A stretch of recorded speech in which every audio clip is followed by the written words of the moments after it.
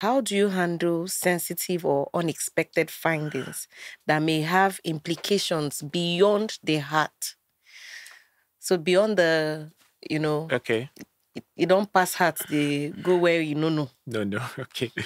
First of all, like you said, it's sensitive. So Mm. um breaking this um sensitive news to to patients can also be challenging in itself. Mm. So um sometimes patients don't want to hear the bad news, Mhm. but then you try as much as possible to break it to them in a very palatable way.